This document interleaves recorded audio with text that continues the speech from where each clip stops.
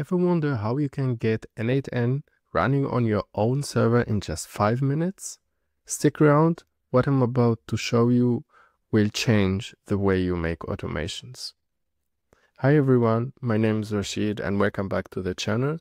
Today I'm revealing the simplest and proven method to self-host N8N, whether you are a complete beginner or a seasoned pro. So self-hosting isn't just about reducing costs, it offers powerful advantages like maintaining full control, ensuring privacy, and delivering robust solutions for external clients. I, for instance, work with many European clients who prioritize data privacy and need to be certain of their GDPR compliance when handling personal data.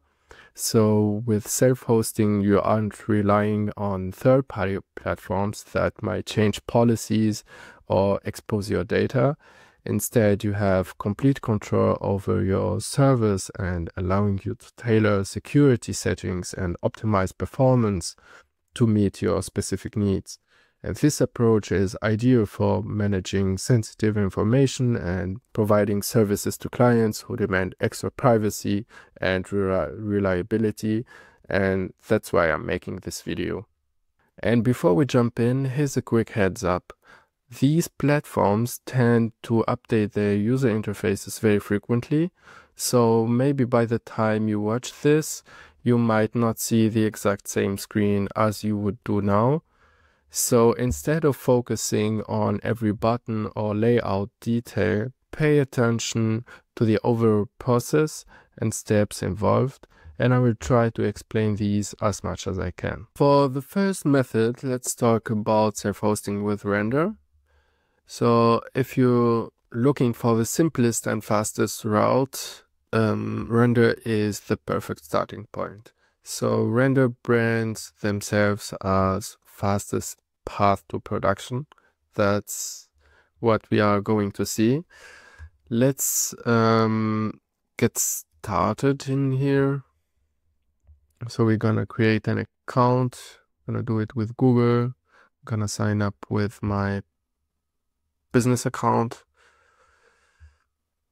So once signed in, we need to find the area labeled web services click on it and then uh, click on existing image. And here we need to find the n8n docker image url so it's very simple. We're gonna type in n8n docker. And we're gonna find the docker image in here. Just scroll down. And here's what we need paste it in here. And then hit connect.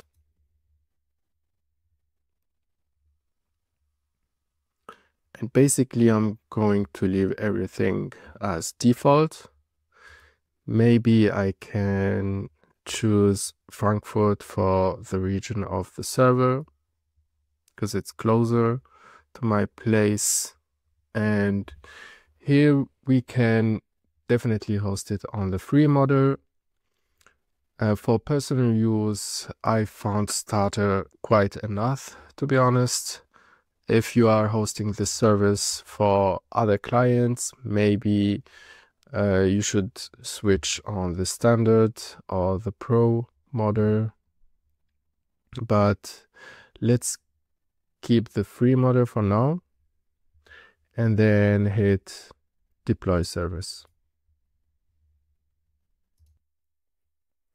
So as you see in here, the deployment just finished.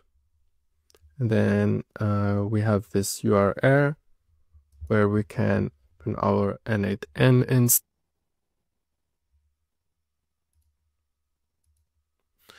And basically we have it. Let's um, make a password.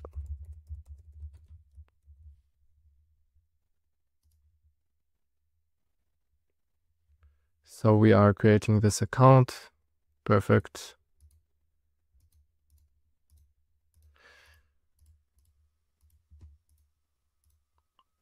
And get started.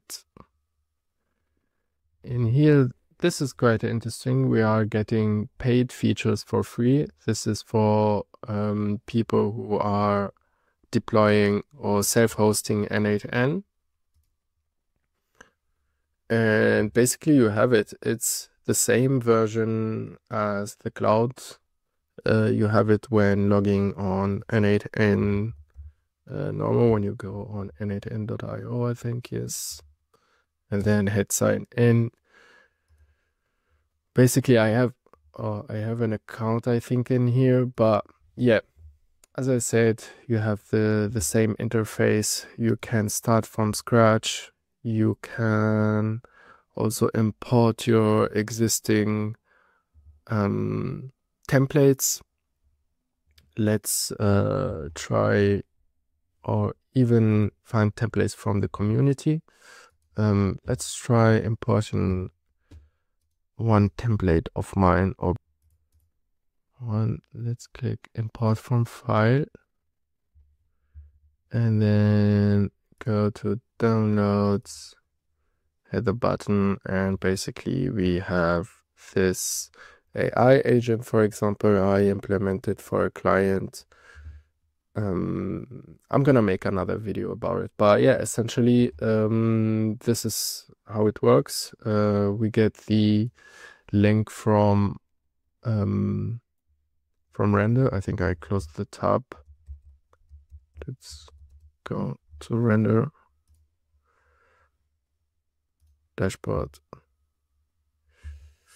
And yeah when you click on here n8n you have this url and you see if this is live. You can upgrade your instance uh, instance directly in here. Let's hit for example starter.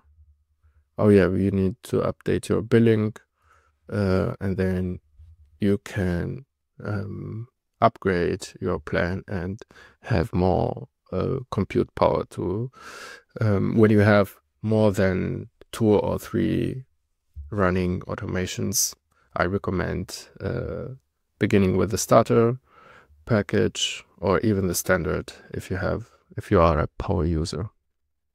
So yeah.